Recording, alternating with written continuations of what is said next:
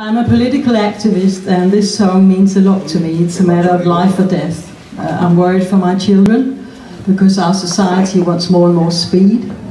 Um, so I'm suggesting we go back to carrier pigeons. Un-smart me, I'm not a robot, don't you see?